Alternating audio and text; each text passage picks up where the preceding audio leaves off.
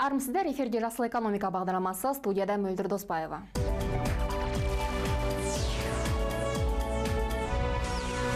Балықты берме оны аулауды үйрет деген ақыл бүгіндегі біздің балық шаруашылығымызға да жарап қалатын түрі бар. Еліміздегі су айдындарына салмақ түсірмеу үшін балық шаруашылығы мәселесі бойынша жеке аквамәдениет үрдісін дамыту қажеттілігі туындауда.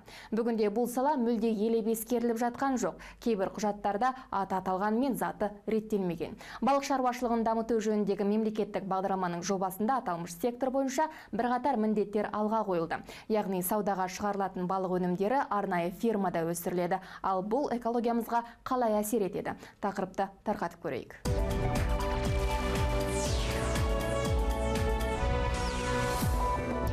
Отыз шақты балық шаруашылығы елімізде бір тоннадай тауарлық балық өндіріп келеді. Ондағы өндірістің көрсеткіштері болса еліміздің су айдындарының әлеуетін ескергенде тым аз. Сол себепті арнайы бағдарлама бойынша шығарылатын тауарлық балық көлемін 2020 жылға дейін 10 мың тоннаға дейін өсіру көзделген. Ол үшін ең алдымен балық қорегі мәселесін шешіп алу қажет. Негізі аквакультураның дамымай жатқан себебі бізде ә, суға жіберетін балық шабағы жоқ. Сосын олардың жейтін ә, суға жейтін комбикормалар жетіспейді. Олардың бәрін ә, қазақстаннан емес шет елден алып келеді. Сондықтан өзі қымбат оны алуға бәріне бізде субсидия қаралмаған. Тауарлық өнім үшін негізінен бекіре арқанбалық тұқы өсімдік қоректі балықтар өсіріледі. Алайда оларды жетілдіріп шығару үшін бірнеше жыл кетеді. Сондықтан оның құны қымбаттайды. Осы орайда субсидияларды беру талаптары қайта қаралмақ. Дегенмен ең бастысы экологиялық жағдайды естен шығармау. Мы должны учитывать э, биологию данного водоема антропогендік шаралар қалай әсер етеді? Су айдынын биологиялық балық түрлілігінің ерекшеліктері қандай? Осының барлығын зерттеуіміз керек. Судың құрамы химиясы қандай деңгейде екендігін жете білуіміз қажет. Біз алдымен ол суда балықтың қай түрі өсіп өне алатындығын анықтаймыз. Соңыра зерттеу қорытындысы бойынша биологиялық негіздеме шығарамыз. Су деңгейінің тұрақсыздығы мен трансшекаралық өзендердегі су көлемінің азаюы әдеткі балық шаруашылығын жүргізуге кедергі тудыруы мүмкін. Сондықтан бұл саланың көрсеткіштерін жақсартуда тауарлы балық өндірісі көмектесуі тиіс. Климат қазір өзгеріп жатыр сондықтан су жыл сайын кеміп жатыр. Су кеміген сайын балықты өсіру өсетін жері сол су судың болмаса балықтар кемейді ә, сол, сол себептен ә, қазір енді оның алдын ала ойлап сол сол ана естественный көлдерге нагрузка түсірмей соның бәрін аквакультура көшіру керек. Балық шаруашылығының дамуын осы өнімді тұтыну көрсеткіштерінен ақ байқауға болады дейді мамандар. Қазақстандықтар жылына 5 келідей балықты тұтынады. Ал әлемдік көрсеткіш 19 келі шамасында. Аквамәдениет бұл олқылықты да жоюға сеп болар.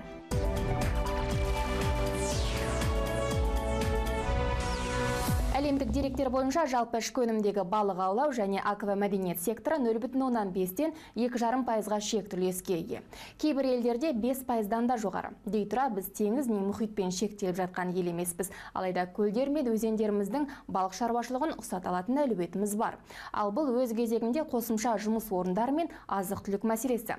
Бұл пайымды дүниежүзілік азық түлік және ауыл шаруашылығы ұйымының сарапшысы хайдар ферсой да алға тартады. Маман пікірін тыңдап көрсек.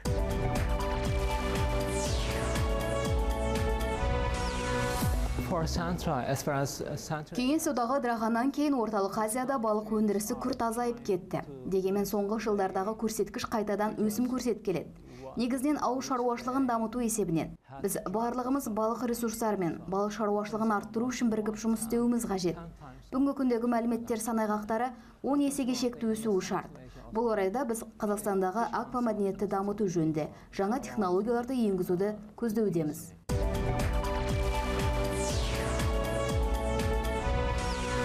Осы орайда тауарлық балық шабақтарын өсіру үшін елімізде бірнеше тұқымбақ жұмыс істейді.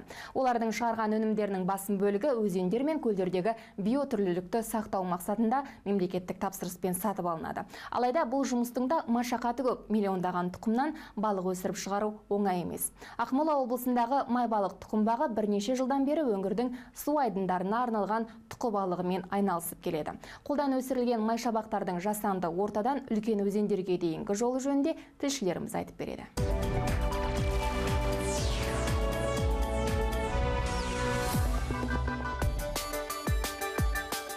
майбалық тұқымбағы негізінен басымдықты тұқы тектес балықтарға беріп отыр. Барлық балықтардың ішінде ол біздің өңір үшін ерекше. Себебі балықтың бұл түрі ортаға тез бейімделеді жылдам өсіп өнеді ал ең бастысы сапалы ет береді.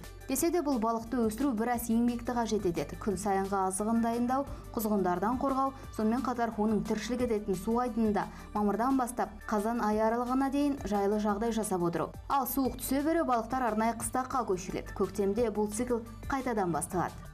Последние годы соңғы жылдары мемлекеттік тапсырыстың басым бөлігі есіл өзеніне бағытталып отыр. Бұл бір жылдық балықтардың елу пайызы. Бұл дегеніміз тұқының 500 мыңға жуығы және 10 миллион шабақ тұқымы. Сондай ақ нұра өзенін балықтандырып жатырмыз. Тұқыммен маманданған мұндағылар өзге де балық түрлерін өсіруді қолға алған. Оның ішінде ең қымбат бекіре тұқымдас балығы да бар. Алайда бұл әзірге пайдалы тәжірибе ғана. Оларды күтіп баптау да біраз қаржыны талап етеді. Шығыны көп істейді кәсіпорын қызметкерлері. Опыты проводим по осетровым. бекіре тұқымдас балықтарға тәжірибе жасаймыз. Біраз балық шоқыры бар. Келесі жылдан бастап оларды 4-5 жастан өсіруді жоспарлап отырмыз. Ал тұқыны өсірудің өз технологиясы бар. Егер басқа балықтарды алсақ жаңа тоған жасап су беру жүйесінде өзгертуіміз қажет болады. Бұл салада орын алатын өзгерістер балық шаруаларын толғандырмай қоймайтыны рас. Болашақта майбалық тұқымбағы жеке қолға өтеді. Ал олардың жыл сайынғы мемлекет бөліп отырған қолдаудан қалыс қалғысы жоқ. Соңғы жылдардың тәжірибесі көрсеткендей жеке кәсіпорындар тірі тауарды аз көлемде сатып алады. Ал бұдан түскен кіріс тұқымбақтың керегін қамтамасыз етуге кеткен шығынды жаба алмайды.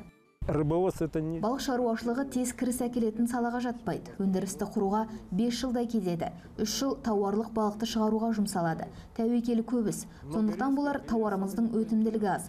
Ал мемлекет кепілді түрде тапсырыс жасайды. Сол тапсырыстың арқасында күнімізді көріп келеміз.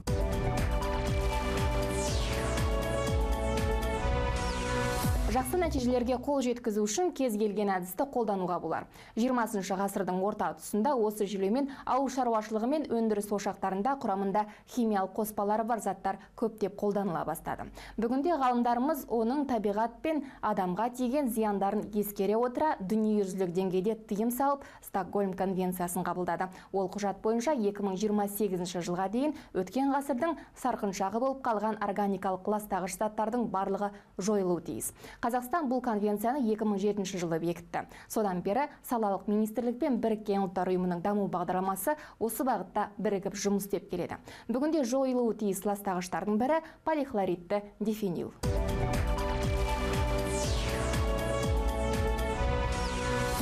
Проект состоит из четырех компонентов. Бұл бағыттағы жоба төрт сатыдан тұрады. Ең алғашқысы заңнамаға нормативті базаны жасауға қатысты ерекшеліктерді әзірлейді.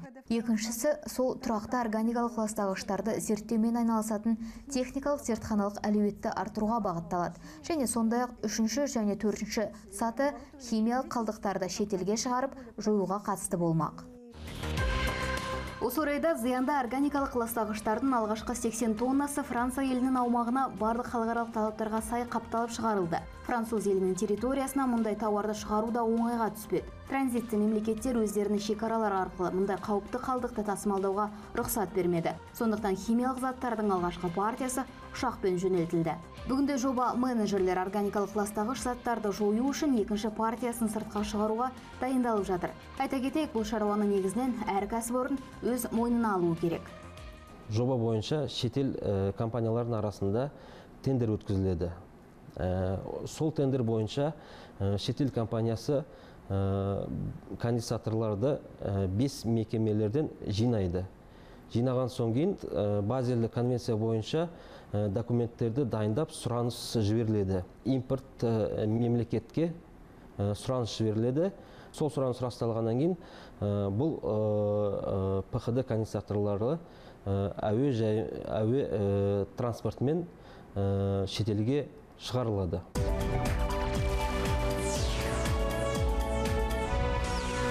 Жасыл экономика бағдарламасы осымен тәмам. Хабарымыздың электронды нұсқасын 24 нүкте kz сайтынан көре аласыздар және әлеуметтік желілердегі аккаунттарымызды оқи отырыңыздар. Көріскенше.